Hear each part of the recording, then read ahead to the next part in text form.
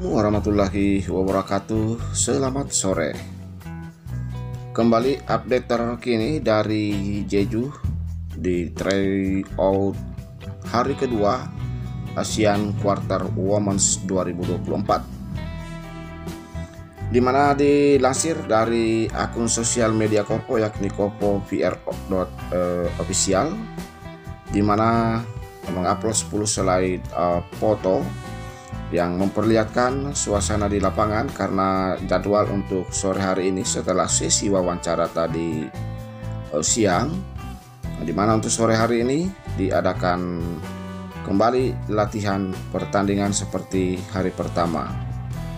Nah, di sini kembali dinilai oleh para coach uh, masing-masing klub yang hadir karena semua coach pada sore hari ini dari tujuh klub peserta Liga Voli Putri Korea Selatan 2024 hadir. Eh, berbeda di hari pertama kemarin cuma ada berapa pelatih saja yang hadir tetapi pada sore hari ini mereka semuanya terlihat hadir termasuk eh, coach andalan sebagian netizen Abo Dansa. Uh, terlihat foto yang diupload ada Yola Juliana tetapi tidak terdeteksi Aulia Suci Nur Fadilah.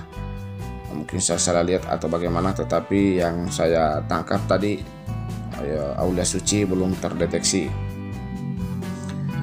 Dan sekedar ada informasi yang lebih menarik yang lebih menegangkan lagi di mana besok hari 1 Mei 2024 adalah hari terakhir eh, pengumuman Mega dan Wipawe akan berlabuh di mana. Dan ada pengumuman penting juga yang jelas Korean V-League 2024 sekali lagi besok hari Rabu 1 Mei 2024 akan membuat sebuah pengumuman penting. Jadi kita sama-sama menantikan biar kita juga sama-sama terkejut. Begitu. Uh, untuk kegiatan selanjutnya nantikan aja terus Eh, nanti update arena akan berikan eh, informasi-informasi uh, terbarunya. Mudah-mudahan dan sekali lagi saya berharap kepada rekan-rekan pecinta voli di mana pun berada kita doakan semoga Yola Yuliana dan Aulia Suci Nur Fadila uh, masuk untuk memenuhi kuota Asia.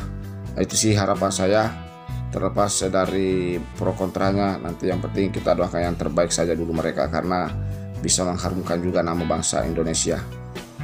Untuk itu makanya saya tidak henti-hentinya untuk meminta dukungan berdoa biar mereka uh, keterima.